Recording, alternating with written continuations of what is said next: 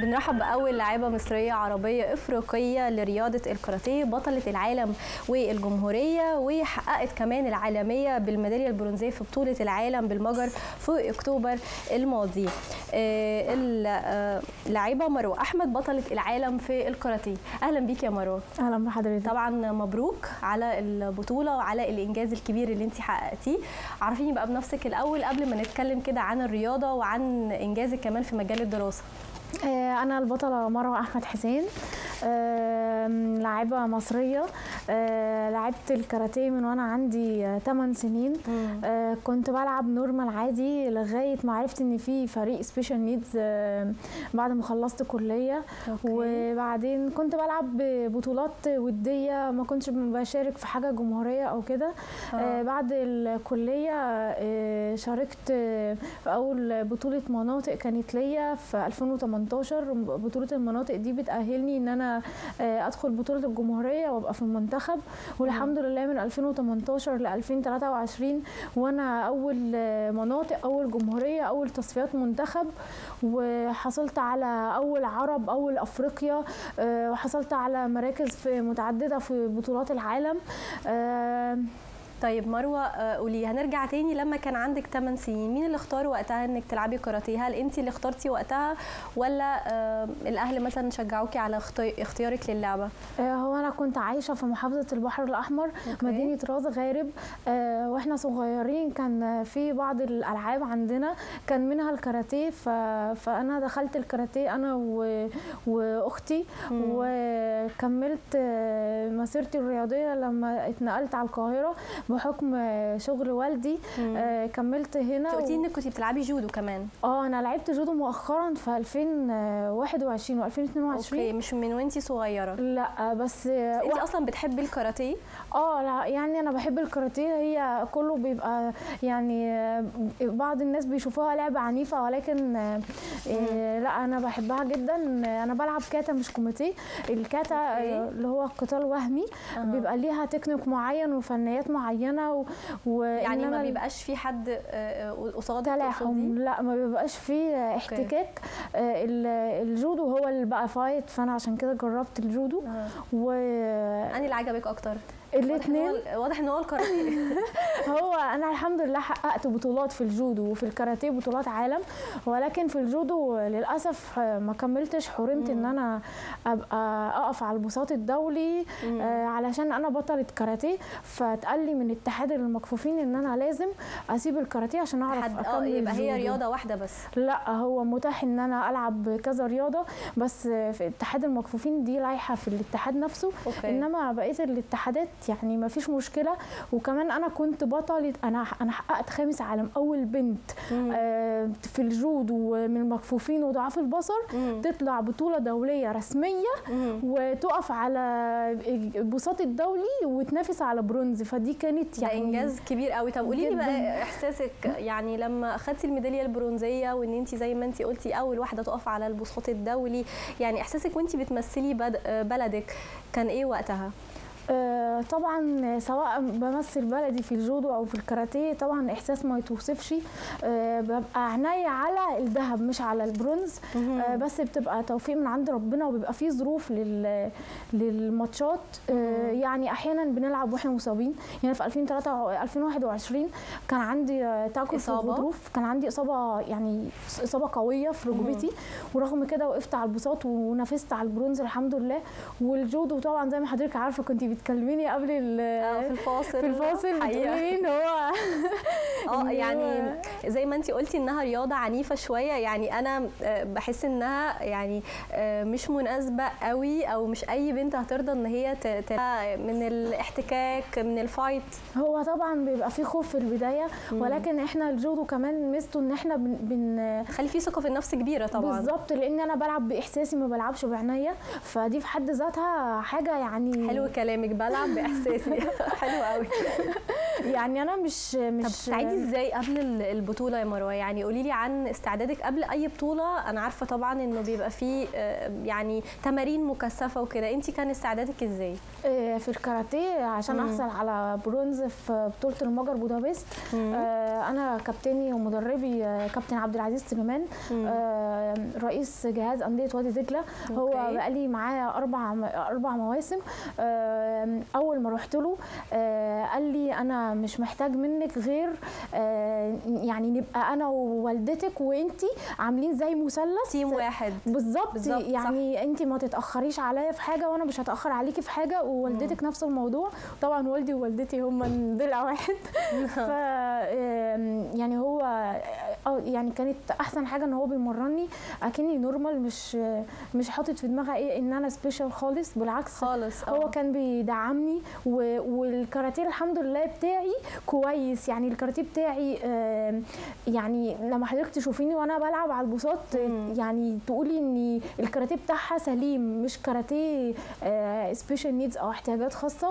فده اللي كان بي بيدعمني وبيقويني إن أنا آه، أنا ليه لأ ليه ما انافسش و- والحمد لله أثبتت وجودي وحصلت على الميدالية البرونزية وكان الم- الماتش بتاعي آه، ال final كان يعني بصراحة صعب مم. جدا جدا جدا ليه أنا في أول دور آه، عرفت إن أنا يعني قالوا لي إن أنا مش هكمل. خلاص إن أنا خرجت فكان إحباط شديد بالنسبة لي وقلت في دماغي أنا مش هكمل كاراتيه طب إيه اللي حصل وقتها. علشان يتقالك كده هو إحنا المفروض آه، أنا بقف آه، بنحيي البوله بتاعتي أوكي. وأنا كنت اول بنت لعبت في البوله فبعدها خرجت بره في صالة التسخين آه، كان المفروض إن أنا آه، أفضل موجودة عشان أعرف النتيجة أنا تصنيفي إيه بالظبط في البوله عشان أعرف اكمل ولا لأ. فللأسف لما خرجت آه، قالوا لي لا انت كده مش هتكملي وبعد كده آه، نزل على صفحة الاتحاد الدولي إن أنا ليا منافسة تانية ليا فاينل فالحمد لله يعني أنا رضيت في الأول. بس كان طبعا الواحد تعب سنتين أنا يعني لا الموضوع بالنسبة لي صعب إن أنا أنا في اليوم أنا مم. أحيانا بتمرن ثلاث تمارين fitness كم مرة في ال- الأسبوع آه كم ساعة في في اليوم ماليش آه، آه، time معين في الأسبوع أو okay. أو اليوم مم. على حسب الكابتن أنا تنسيق المدرب بالظبط. وكمان ال fitness واحيانا كنت بخرج من من fitness لكاراتيه الجودو فكان اليوم معايا يعني برافو عليكي. يعني لا انت بجد آه، سوبر هيرو طيب إحنا هنكمل كلامنا معاكي. هنطلع دلوقتي الفاصل هنشوفك فيه وانت بتلعبي الكاراتيه ونرجع مرة تانية. آه، الرئيس أنا عرفت ان انت برضو اتكرمتي من الرئيس. كلميني عن الجزء ده. آه، طبعا إحنا بنشارك كل سنة في حفل القادرون باختلاف من أول 2018 آه، كان بصراحة تكريم مهم جدا ودافع لينا. آه، ودايما آه، يعني بنطلع البطولة وبنبقى حاطين في دماغنا إن إحنا عايزين نجيب ميدالية عشان آه، نرجع آه، ونتكرم من سيادة الرئيس ونرفع علم بلدنا. آه، أوكي كان أول تكريم ليا كان 2018 أها. وكنت شاركت في عرض كاراتيه. وبعد ما خلصنا العرض إحنا كنا عايزين نسلم على سيادة الرئيس. وقلنا للكابتن اللي هو يعني آه، كابتن المنتخب عندنا. فقال لنا أنا مش مسؤول. دي حاجة بتبقى بروتوكول وحاجات كده بتاع الحفلة. فقلنا له كابتن إحنا هننده عليه وهو هيطلع لنا إن شاء الله. فبالفور إحنا ندهنا عليه أنا وزمايلي. وهو طلع وسلم علينا كلنا. وبجد هو الأب الروحي لينا. ويعني إحنا كنا قبل 2018 كنا مهمشين. ولكن بعد 2018 آه، حصل طفرة كبيرة جدا آه، على مستوى ال- ال- العمل وعلى مستوى. الرياضة وعلى انت كمان. آه، يا مروة يعني خلصتي الأكاديمية البحرية صح كده. وتفوقتي دراسيا كنت آه، من الأوائل صح كده؟ آه أنا كنت آه. اول سنتين في في الدراسة كنت الأولى على الدفعة وبعد كده كنت تانية أولى تانية أولى لغاية ما اتخرجت. تانية على الدفعة وكملت مسيرتي ال- العلمية إن أنا حضرت master MBA academic وبعد كده حاولت professional عشان الرياضة. وحاليا أنا في آخر ترم وإن شاء الله برضو بسعى إن أنا إن شاء الله أحضر دكتوراه. إنجاز كبير قوي يا مروة. إزاي قدرتي يعني في العادي الوقت بيبقى ضيق لأي بطل رياضي؟ يعني بيبقى مشغول جدا بالتمارين بتبقى واخدة أغلب الأسبوع بتاخد التمرين نفسه بيقعد وقت كبير خصوصا لما بيكون في بطولة. ف يعني بنشوف ناس يا متفوقة رياضيا يا متفوقة دراسيا. الاثنين مع بعض بتكون حاجة صعبة وعايزة تنظيم وقت كبير قوي وعايزة دعم كبير من الأهل. فقولي لي قدرتي تعملي ده إزاي؟ هو بصراحة الاثنين مع بعض تحدي كبير ليا ولاهلي ولصحابي انت قصدتي تحطي نفسك في التحدي ده؟ آه أنا ما بعرفش أعيش بدون ريسك وتحدي وإن أنا يبقى عندي كذا حاجة في يومي. أنا عايزة أوصل له. بالظبط. وبعدين كل حاجة بتكمل بعض عندي. يعني يعني أنا بحاول على قد ما أقدر إن أنا أمشي في جميع الاتجاهات. لا أنا مم. هكمل علميا وهكمل رياضيا. فلازم أمشي في جميع الاتجاهات والداعم الأكبر ليا طبعا والدي ووالدتي. و... و... والمنتال كوتش أنا عندي منتال كوتش دكتور محمد عبد اللطيف. هو دايما معايا بصراحة في في مشاكل شكلي ودايما يعني الواحد أحيانا بيحبط. هو دايما دكتور أنا عندي كذا دكتور عندي بطولة دكتور عندي امتحان وبيحاول إن هو يفنط دماغي وإن يحاول يخليني أفكر بطريقة إيجابية علشان أعرف أكمل. لأن إحنا أحيانا بتقابلنا صعوبات كتير بس بدون الصعوبات مش هيبقى عندنا تحدي ولا هنعرف نوصل للي إحنا عاوزينه. أكيد. إيه أكتر صعوبات شايف شفتيها واجهتك في حياتك؟ هل كانت أكتر في مجال الرياضة ولا في الدراسة؟ هو طبعا كل حاجة ليها صعوباتها يعني أنا تخطيت جزئية الدراسة حاليا مركزة في الرياضة. الرياضة طبعا بتقابلني صعوبات. أنا عشان أتمرن أنا يعني بيبقى عندي دكتور تغذية ودكتور mental coach ودكتور private في حاجات كتير في في الرياضة عشان أوصل للمستوى اللي أنا عاوزاه وإني ما بقاش أقل من اللاعبين بره مصر وده أدركته في لعبة الجودو أكتر لإني لعبة الجودو محتاجة محتاجة حاجات كتير عشان مم. أقف على بساط دولي وأبقى زي زي الأبطال دول إن هم بيلعبوا من بدري. أنا لسه داخلة المجال كان قريب جدا. بس الحمد لله يعني أنا فرحانة بنفسي جدا وفخورة إني وقفت على البساط ونافست على أول بطولة ليا دولية. أنافس على برونز فكانت حاجة يعني كبيرة بالنسبة لي كبيره قوي. و... طب أنا شايفة إن في ميدالية gold كمان انت لابساها غير الميدالية اللي مكتوب عليها بودابست اللي هي بتاعة دولة المجر. في كمان كمان ال gold ال gold دي كانت إفريقيا تقريبا. قولي لي كلميني عنها. إفريقيا في المغرب. آه إحنا اتعمل لنا تصفيات منتخب مرتين. علشان نؤهل إن إحنا نطلع بطولة العالم. آه كانت أول بطولة إفريقية آه تقام لينا. آه وإن شاء الله مش هتبقى آخر بطولة. آه كانت في المغرب البطولة دي وكانت يعني حاجة كويسة لينا كانت أكنها بروفا لبطولة العالم عشان نشوف أخطائنا إيه ونكملها ونشتغل عليها. كانت قبل بطولة العالم تقريبا بشهرين. والحمد لله حصلت على أول أفريقيا وكان كان داعم كبير ليا يعني. إيه أكتر بطولة انت بتعتزي بيها أو قريبة أكتر لقلبك؟